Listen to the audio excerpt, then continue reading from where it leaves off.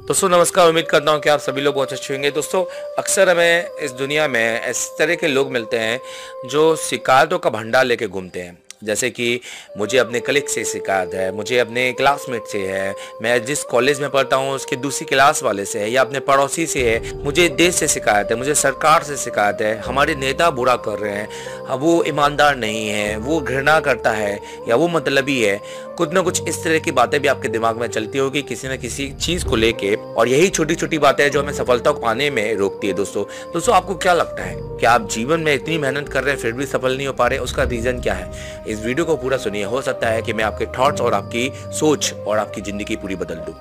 दोस्तों, ये कहानी है एक बुद्धिमान व्यक्ति की। वो जिस गाँव में रहता था, वहाँ अपने घर के बाहर बैठा हुआ था, उसके सामने से एक आदमी गुजरा। उसने उससे पूछा कि, भाई, इस गाँव में किस तरह के लोग रहते हैं? उसने पूछा, भाई, ये कैसा सवाल है? उसने बोला कि यार, ऐसा है कि मैं जिस गाँव को छोड़ के आया हूँ, अब मैं इस गाँव में बसना चाहता हूँ। तो उस बुद्धिमान व्यक्ति ने पूछा अच्छा ये बताओ कि उस गाँव में कैसे लोग रहते थे? तो बोला था यार उस गाँव में ना बड़ी बेकार टाइप के लोग रहते थे। वो एक दूसरे से घृणा करते हैं, ईमानदार नहीं होते और वो किसी की मदद कोई नहीं करता है। तो उस बुद्धिमान व्यक्ति ने आंसर दिया कि यार, इस गाँव में भी सेम वैसे ही लोग रहते हैं। सो वो व्यक्ति वहाँ से चला गया। वैसे ही दूसरा आया, उसने भी सेम सवाल किया।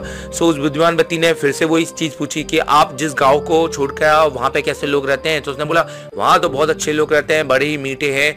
बड़े ही एक दूसरे से प्यार करते हैं और एक दूसरे का साथ देते हैं। सो उस बुद्धिमान व्यक्ति ने जवाब दिया कि इस गाँव में भी आपको सेम वैसे ही लोग मिल जाएँगे। तो दोस्तों, इस कहानी से मैं आपको समझाना चाहता हूँ कि जब तक आप अपने खुद के अंदर बदलाव नहीं लाएँगे, आपका देखने का नज़रिया भी नहीं बदलेगा। दोस्तों, पहले अपने अंदर बदलाव लाइए, क्योंकि आपका व्यवहार दूसरों के व्यवहार का आईना होता है। जैसा आप करेंगे, वैसे ही आपको फल मिलेगा। अगर आप दूसरों के साथ अच्छा करेंगे तो आपको अच्छा मिलेगा, और अगर आप बुरा करेंगे तो आपको बुरा मिलेगा। तो दोस्तों, ऐसा ही देवचंद अग्रवाल और एसे टेलीकॉम आपके सामने हमेशा नए वीडियो लाते रहेंगे और कोशिश करूँगा मैं कि एक दिन आपके दिल तक पहुँच जाऊँ और आपकी ज़िंदगी बदल सकूँ। थैंक यू वेरी मच ये वीडियो देखने के लिए।